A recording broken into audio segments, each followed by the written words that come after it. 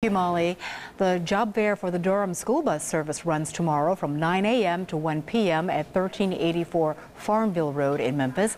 Signing bonuses range from $200 for those hired with a regular driver's license to $1,000 for fully licensed school bus drivers.